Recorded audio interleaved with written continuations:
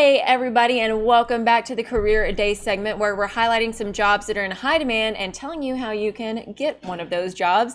With me now is Sergeant Chris Carpenter, and he is the head of the 911 Communications. Thank you so much for joining me today. Yes, ma'am, my pleasure. Of course. So let's go ahead and get started.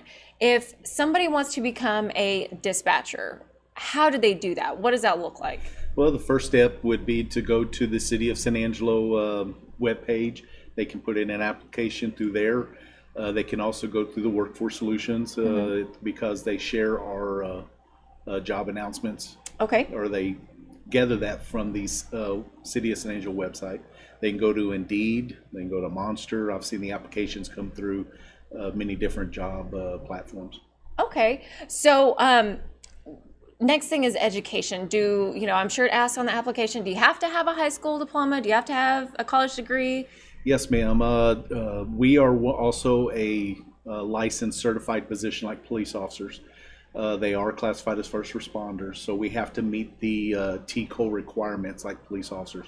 So the minimum education is a, uh high school diploma or a GED. Okay. Uh, they don't have to have a college degree or anything. So that's the minimum. Okay. So they're going to get some on-the-job training, of course. Yes, ma'am. Okay. What does that look like?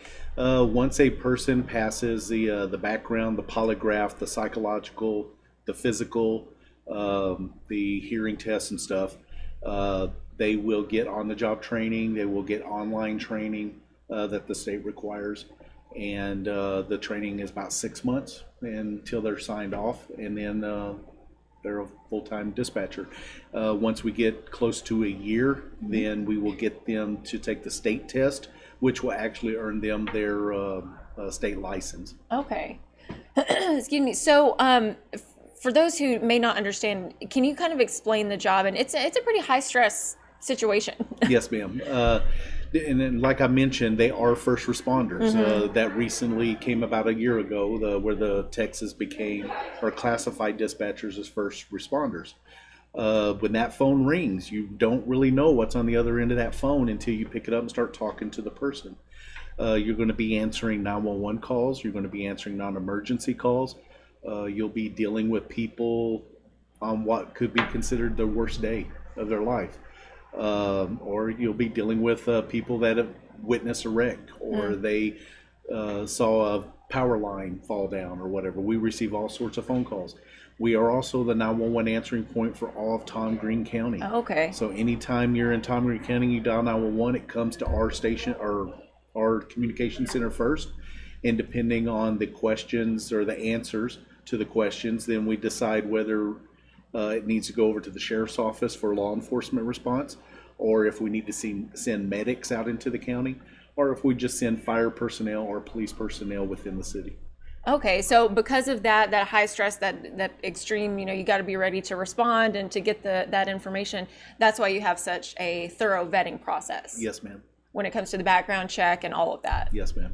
Okay, perfect. So when we're looking at a salary, what are kind of the ranges? Say we're starting out, we're learning, and then, you know, can people make this a career? Yes, ma'am, they can. Uh, I've got a dispatcher. It's uh, fixing to hit her 25th year. Uh, she is one of my shift supervisors, so that's the highest that you can attain as a civilian for the dispatch department is a uh, shift supervisor. Uh, once you start out, uh, the starting salary is thirty-one thousand eight hundred sixty-eight a year. It is broken down into an hourly rate, which is about fifteen thirty-two. I know that's what a lot of people look at. What's my hourly rate? Yeah. So it's fifteen thirty-two an hour. Um, if we're ever shorthanded, uh, there's some overtime that can be um, uh, obtained through this position. So you know, you're looking at time and a half, about twenty-three inch and change, give or take, uh, an hour when there's overtime. Um, the, once you get your cert, state certification or state license, then your salary goes up to thirty-four thousand seven hundred, roughly around there, which means your hourly rate will jump up as well. I think it's uh, like sixteen ninety something Okay. an hour.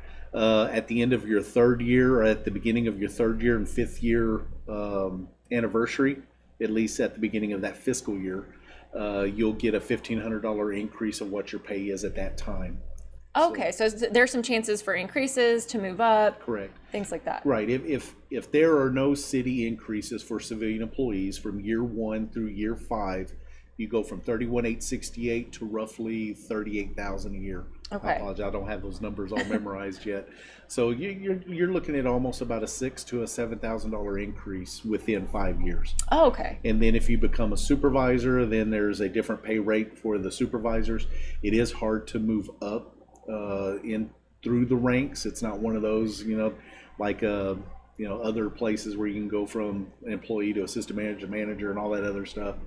Uh, but there's three sh- uh, supervisor positions, one for each shift that we Oh. have, and that's the highest that you can obtain. Gotcha. Gotcha. So how in demand is is a dispatcher? Can can somebody start the process and, and, and get going right now? it, it does it- you you can come straight in the door through the vetting process like you mentioned. Um, it's it's one of those jobs that is a job that you've never had before. It's Yeah. you know it's it's uh it, like i explained to a lot of applicants it's like finding those diamonds in the rough. We can explain the job we can uh, get you ready for the job but until you sit in that chair start answering the phones you don't know if that job's for you so we do have a, a very active revolving door at the beginning of training because until they start answering the phones they'll they don't know. Right. and if the training goes well through the first four weeks and stuff our percentages of having a good dispatcher increase. Uh, so it's just trying to find those people within the first few weeks. And uh, it's it's kind of a nationwide trend just due to the stress of the job whether that job's for them or not that a lot of call centers have a hard time getting a fully staffed call center and uh, we are actively hiring right now. In fact, we just closed the announcement. We've got about 10 applicants through the process right now.